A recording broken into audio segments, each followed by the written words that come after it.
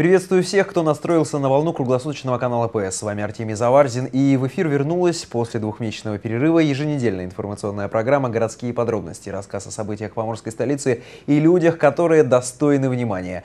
И, конечно, в преддверии 70-летия Победы над фашистской Германией главными героями новостных программ становятся ветераны Великой Отечественной войны. Старт мероприятиям, посвященным победе и поколению победителей, 20 февраля дал президент России Владимир Путин. А уже 23 февраля, в День защитника Отечества, в Архангельске состоялось знаковое событие. Юбилейные медали в честь 70-летия Победы были вручены архангельским ветеранам на церемонии закрытия фестиваля «Помним, гордимся, верим». Президентские награды вручил мэр Архангельска Виктор Павленко. Василий Гонзя войну встретил курсантом авиационного училища. Юному летчику-истребителю выпало увидеть с небес одну из самых страшных баталий Великой Отечественной – Курскую битву. Но все же не боевые вылеты, а счастливый день Победы 45-го он вспоминает с особым чувством и юмором. Сообщили, что война кончилась. За оружие во двор и расстреляли все патроны, которые у нас были. Конечно, кричали «Ура! Ура!» и прочее, прочее, победа за нами. И когда все патроны кончились, успокоились, победа за нами и пошли на завтрак. 13 участников Великой Отечественной войны стали первыми, кому вручили юбилейные медали. Интересно, что впервые в соответствии со специальным положением удостоверение к президентским медалям подписывают главы муниципальных образований. Летчики, артиллеристы, танкисты, пехотинцы, моряки – вот они люди, день за днем приближавшие победу. Среди награжденных единственная женщина. В начале войны Таисия Иванова училась на сварщика, а потом 19-летняя девушка стала матросом. Ледоколы, на которых она служила, провожали союзные рейсы до Архангельска и Мурманска. Самое страшное – ночные налеты юнкерсов. Это страшно вообще. Как, как караваны-то идут. Со всех сторон палят а наши не успевают никуда. Ужас.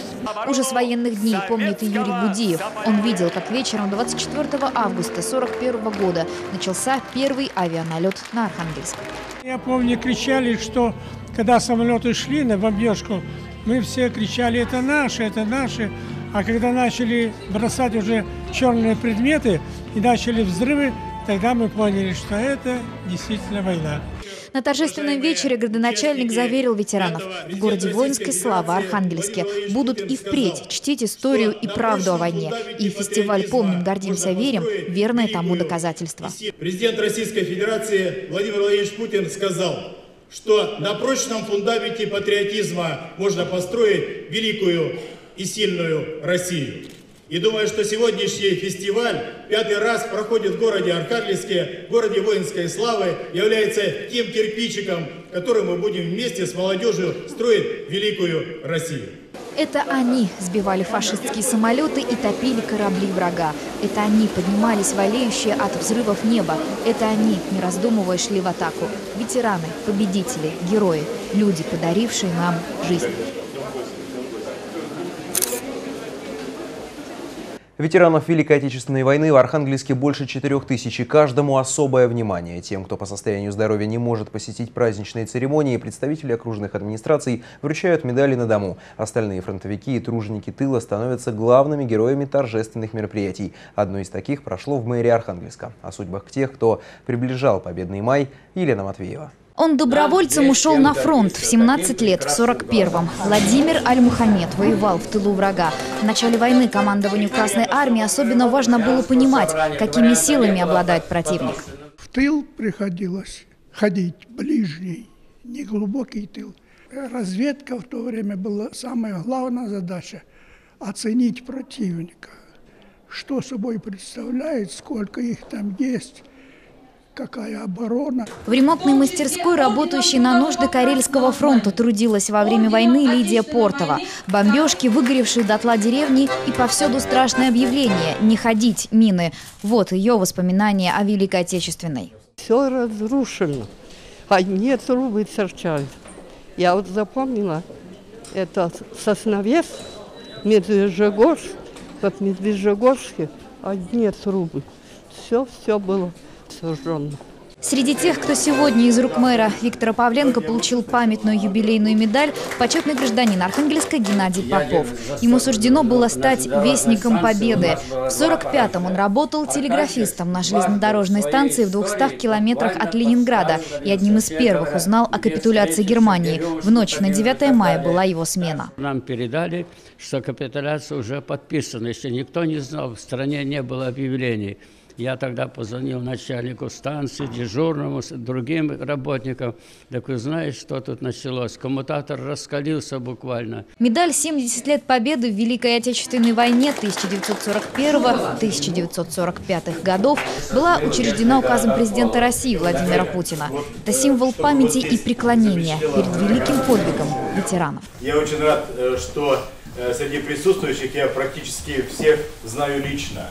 И я этим горд, что мне выпала такая большая честь э, быть мэром города воинской славы, э, который был присвоен благодаря вам. Это ваша награда, это ваша заслуга, это высочайшая оценка руководства страны президента Российской Федерации, ваших заслуг, вклад города Архангельска. И э, вдвойне приятно выполнить поручение президента Российской Федерации и вручить вам юбилейные медали 70-летия э, Великой Победы.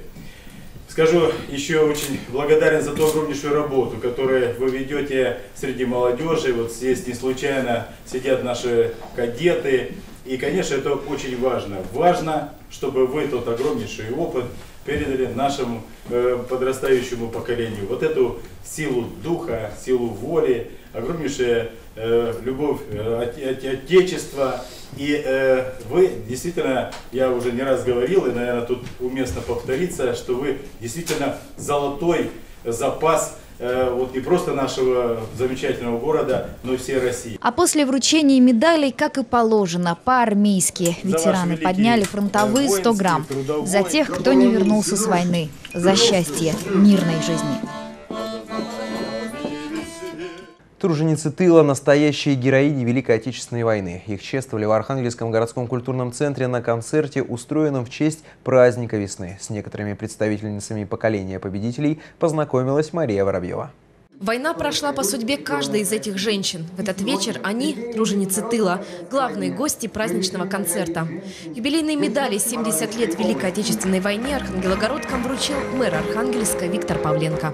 Я, честно говоря, всегда, когда поздравляю женщин-ветеранов, ветеранов Великой Отечественной войны, тружениц тыла, испытываю двойной трепет, э, потому что они наравне с мужчинами воевали, наравне с мужчинами, а иногда и больше мужчин трудились в тылу, при этом были матерями, сестрами, при этом э, воспитали замечательных детей, это уникальные женщины. Желаем им всем вам присутствующим в зале, всем женщинам города Архангельска добра, здоровья, счастья, благополучия и мирного неба над нашей Россией. С праздником! Война ворвалась в жизнь Зинаиды Бобровой, когда ей было 9 лет. Отца, как и других мужчин, забрали на фронт. Поэтому всю работу в колхозе пришлось выполнять женщинам. Не отставала от них и маленькая Зина. Ездили мы на лошадях, много, ну, поля боронили, сено возили, на молотилках, когда убирали хлеба, э, снопы подвозили. Потом, э, когда сев начинался, возили мы зерно, на поля, на телеге. Хлеба у нас не было, но были свои огороды. В 42 году с больной матерью на руках была эвакуирована из голодного Архангельска в Плесецкий район и Лидия Пунанцева. 12-летняя девочка Лида помогала взрослым сплавлять лес. Сейчас труженица тыла 88 лет. Выжили, мне кажется, только благодаря подножию корму. Вот, допустим, лен вот этот э, его колотит, и еще что-то там остается, и скирдует его. И мы его фактически воровали, еще дома переколачивали, и что-то пекли лепешки. Музыкальным подарком женщинам стал концерт народного артиста Республики Коми Дамира Басырова. С особенным настроением виновницы торжества слушали песню про Архангельск, получивший звание города воинской славы, в том числе и благодаря самоотверженному труду северянок.